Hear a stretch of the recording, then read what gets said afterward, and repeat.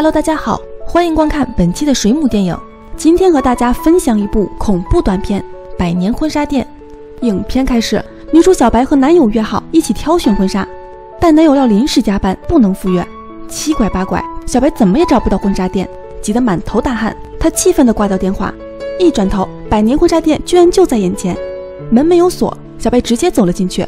昏暗的灯光，四处都是穿着各式婚纱的人偶模特，而且一个人也没有。此时，店长出现。店长的妆容精致而又诡异，他示意小白随便看看。小白摸着一件件美丽的婚纱，突然想起了什么，他拿出电脑，打开婚纱店的网址，把事先看中的婚纱给店长看。店长却说这两款是贵宾区的婚纱，不对普通客户开放。不过今天是他任职三年的日子，也是他最后一天上班，所以破格对他开放。两人穿过诡异的走廊，来到贵宾区。小白第一眼就被中间的婚纱吸引了。她仿佛有魔力一般，小白爱不释手，想试穿这件婚纱，但是不巧，店长却说婚纱已经被人预定了，让小白试试另一条。临走前，店长又特意嘱咐她千万不要碰那件被预定的婚纱。时间已经到了下午三点，小白试了一件又一件，总觉得不满意。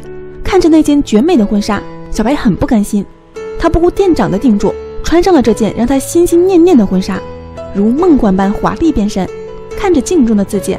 她被自己迷住了，恍惚间，她看到自己穿着这件婚纱，同男友步入婚姻的殿堂。她沉浸在无限的遐想中。突然，钟声响起，小白瞬间回神。她看了眼时间，已经九点了。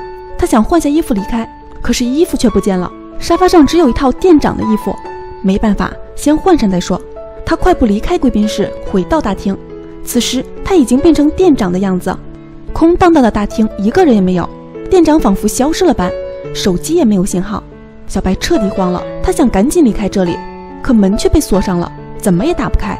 他绝望地敲打着门。此时，他发现自己的手臂上多了一个红色的花形印记。他似乎意识到了什么，低头看向胸前，名牌上赫然是自己的名字。他想到店长也有一个一模一样的纹身。他回想起店长的话，无力地瘫坐在地上。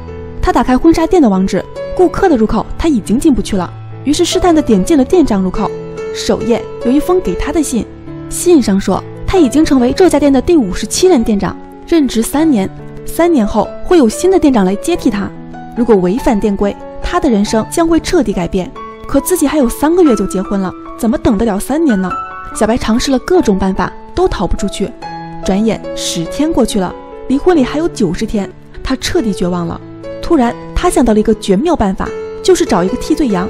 于是他通过网站发布了一条全场店庆所有婚纱半价的动态，随后焦急地等待着。离婚礼的日子越来越近，小白焦急地等待着。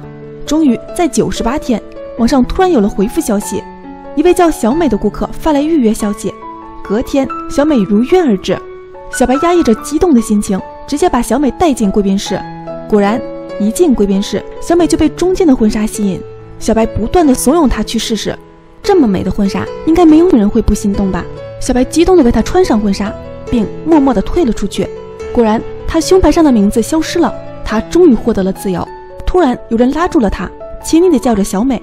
小白彻底懵了，她突然想起那条警告：违反店规，她的人生将会彻底改变，而她再也回不到过去了。